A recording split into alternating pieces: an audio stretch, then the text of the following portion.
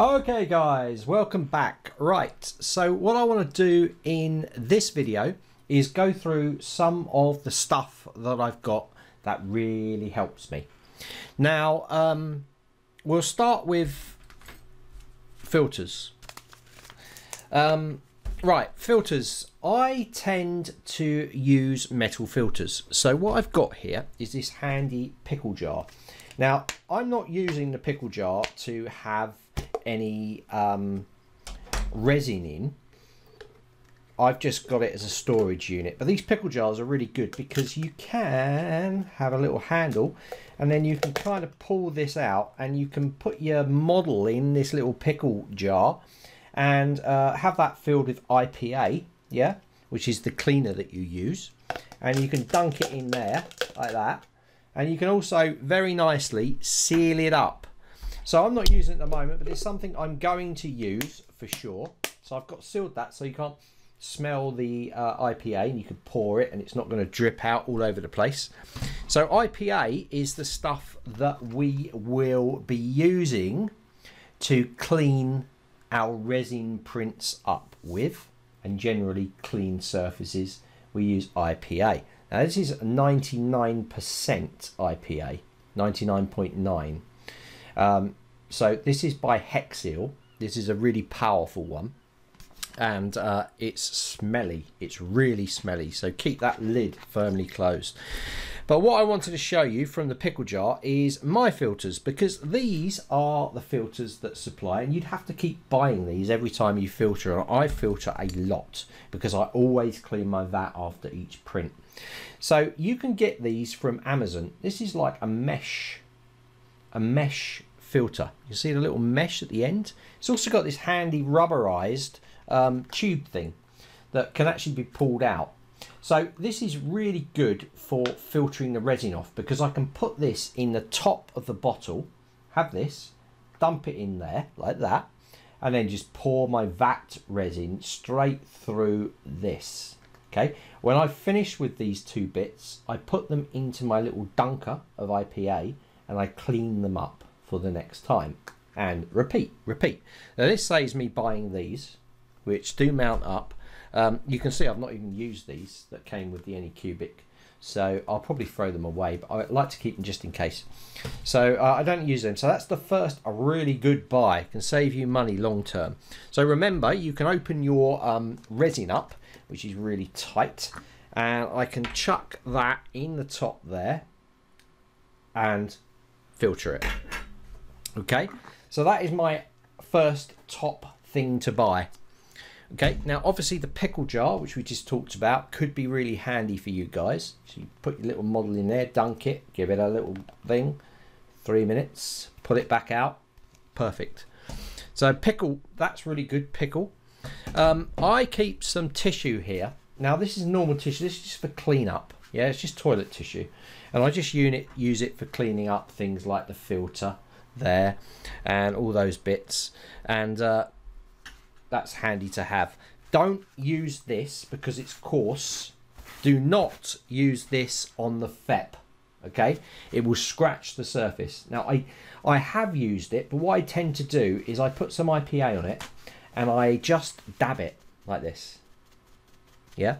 So I don't go like this because it's coarse if you're going to clean it, you want to get yourself some microfiber um, cleaning cloths, um, such as, let me just find one here. I've got a pack of these. These are microfiber cleaning cloths, you see?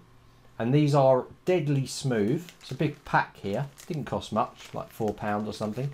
And, you know, you can use them for quite a while and you can just use that over the FEP because it's really really smooth. So that's a good thing to buy uh, for sure. Now I've also got some little trays um, down here. I've got some little trays. Let me show you. Um, obviously I've got lots of USB sticks okay to put my models onto Uh, but I've got these little trays. Now these are quite handy because you don't want to put it on your nice wooden worktop or your surface. So you can put all your trays and things inside here. You can put things like this in here and you're not going to spread or contaminate any resin anywhere else. And it keeps your um, work surface free of any of the resin going on it. The other thing is the gloves. Now they supply these gloves, which are really good, but I've bought a pack of really cheap gloves, which I'll show you. These are TPE gloves, which work fine. They're not they're not like rubberized like the other ones, but they are fine to use, and that's here. So I've got a big pack of these and I just pull one of those out. I normally one hand it, I have it on one hand and I just do all my washing with one hand. Sometimes I'll use two. So gloves are essential. IPA, obviously as we talked about, this Hexeal 99%. Uh, you could have 90% would be fine. And that's for cleanup, that's for all your cleanup. This stuff is really smelly. Okay, so also I have these little wipes. These are just pre-injected isopropyl wipes, okay, like you would for um, glasses. Yeah, like any type or brand will do. And these are really good. I use these now and again. Once I've cleaned the FEP up, I'll then open one of these up and I'll just give it a little wipe inside and on the back. And then it just keeps it all nice and clean. Okay, that's really important. Now, I'm not talking about preparation of your models because that's something we're going to talk about when we come on to painting and preparating and curing the model. So I'm not talking about, I'm talking about the things you use to print. Okay, so those are my main things. The other thing that is really important is a big bin. Um, I create quite a lot of mess with my tissue and all my other bits. So I like to have a little kind of rubbish bin so that I don't have to keep throwing them away. And you don't want those cloth like staying around on the surface because it stinks. You know, it starts to really smell. Good ventilation is really important, so make sure your windows are nicely open. And I've got this nice sealed pot where I just basically throw away all of my um, cloths, things that are soaked that I'm not going to use. When I fill it up, I'll then get rid of it. You know, take it to the refuse and get rid of it there. Now it is a resin based. If you're not using the plant base, it's not biodegradable, so you need to take it to an actual specialist that gets rid of that stuff. Now this is all full of isopropyl, um, the uh, the IPA, so I can throw this in the bin. It's fine, you know. There isn't enough resin on there. Um, some people leave it outside for a little bit, and then any resin on it cures, and then it's fine to throw it away okay once it's actually set. So they are the main bits that I use when I'm printing with this. Now there are other things I need to tell you about because I have a um, a way that I prepare the FEP to further eliminate apart from tightening further eliminate sticking to the FEP which is going to be really interesting for you guys that are having FEP stick problems. So let me just um, show you what I use Okay guys, what I use is, uh, what I initially used was this three in one oil.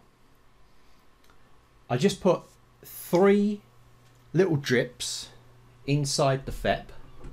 Let me just bring that out, inside here. And then I used a paintbrush to actually spread it around. So I've got a little paintbrush. Now, for me, paintbrushes are brilliant. So I use that and I just spread that over the whole FEP. Now there'll be little dots on there, but don't worry about it. The actual LCD will penetrate it. Um, but now what I looked online was um, this is all right to use. It worked for me, the three-in-one oil, multi-purpose oil. Um, but I knew it wasn't the best way of doing it. What I wanted to do was I wanted to get a dry PTFE.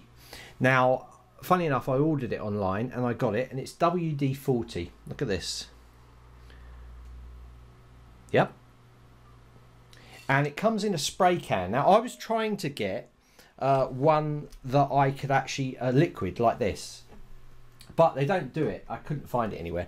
So what I ended up doing, because what I wanted to do was I actually wanted to use the paintbrush. I didn't want to spray it because that can go everywhere. That's not good. So what I did was I got a little jam jar, I don't know if you can see in there. I actually sprayed it in. So I just open this little nozzle up here, and I open up the jam jar. This is where it goes everywhere. And I just put it against the edge, and I just sprayed it. I sprayed it straight in there. Now I can put that away. Put that away, put that somewhere safe. And now I have this liquid. So what I do now is I use a little bit of this. I go in here, I touch a little bit in here, and then I spread it over the FEP, the inside of the FEP, inside, not outside, inside. And what that will do is that will form a kind of frictionless layer. And this dry stuff, this this PT, this PTFE dry stuff, stays on the FEP for much longer than the 3-in-1 oil. So what happens is when it does its first build layer on the base, it then just releases from the FEP really easily and sticks to the build plate. And in fact, before I'd even tightened the FEP, because mine wasn't tight enough to start with, um, I was using this and it was still releasing from the FEP. So now I've tightened it, I also still use this oil, even though I don't probably need to. I still use it as a precaution and it's given me a much higher success on the print than I had before. So this, I would say, this is kind of essential, this oil. I will not ever not use it. Uh, like I told you, after every print, I clean everything. And then the next print, I do it again. I follow the same procedure, which I'm going to show you. I'm going to show you step by step. So that is the main tools that I use. So these paint brushes are really handy. Now, people use metal um, on the build plate. People use metal scrapers. This is what came with Photon. I think it's brilliant. I love it. I don't need to use anything else. Um, and people use metal ones and what happens is they actually get I've got a little bit of scoring that's I'll tell you what happened with that later but um, with this, it's really good because it actually doesn't scratch the surface of the build plate. Okay, it comes off nice and easily. Now, um, I've sort of told you how I set up my FEP, but I'm going to run through this again because there's a certain thing that I did with the build plate as well.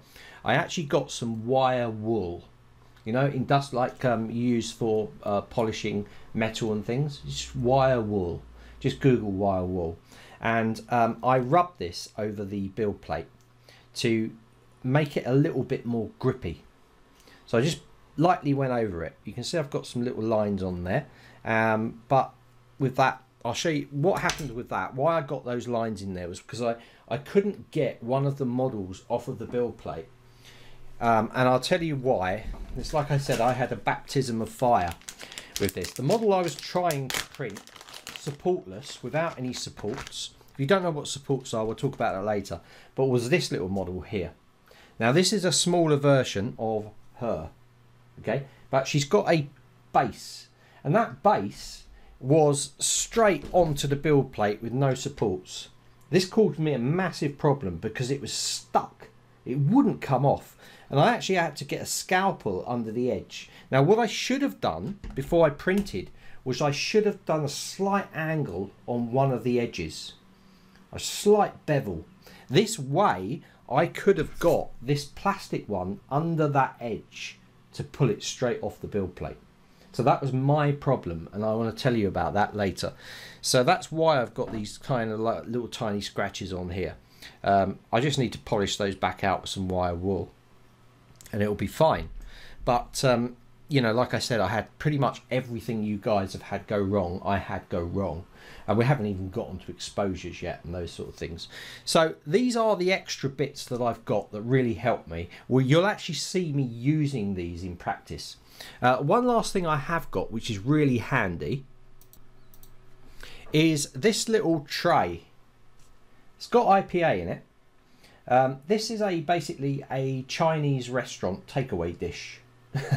all right? And what I do with this is really good because I can open the lid up. While it's sealed I can open the lid up. It's throwable. You know you can throw it away because it's I've got loads of them from Chinese. I do like my Chinese. So um, but I can open this up and I, it actually fits the build plate.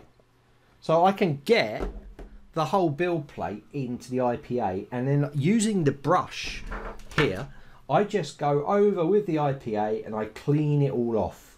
And I bring it out and I clean this and then I remove the model and then I clean this. Again, we're going to do this. But um, it's really handy. These little pots are really handy. I'm going to buy a Tupperware one, one with a sealed lid like this, because I think this is something I'm going to use all the time. It really is clean way of working. Uh, you'll notice everything that contains the IPA has got lids on. It's just so that the smell, I'm trying to minimise. I keep this open. As soon as I finish with it, I close the lid. Uh, with any of the rags that got IPA on, I throw into my bucket. Um, so and then I put the lid on so that I'm minimising the smell of that IPA because that's the thing that really smells for me.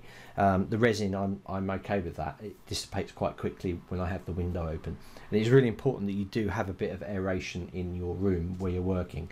So these are the bits I'm using. So now you know that, I'm going to now um, start to show you, I'm going to show you how to level the build plate. Um, and I'm going to run through a process of me printing, okay? and then I'm going to take you into setting stuff up using Chitubox and what you should do to update the firmware on the photon when you get it because it's likely chances are you will not have the right firmware on there that's the um, on that memory card that's the actual stuff that runs the photon s okay so you want to make sure you've got the latest uh, firmware on there and user interface for the photon s so i'll be showing you how you update that pretty easy um, like everything with the Photon S. So what I'm going to do now is I'm going to have a clean up of my deck and we're going to run through uh, bed leveling and um, and also preparing the FEP ready for print. Then I'm going to go in and uh, take a model in and show you how I set it up and uh, well actually just before that I'm going to show you how to update the firmware as well. So we'll do all that in the next uh, few lectures.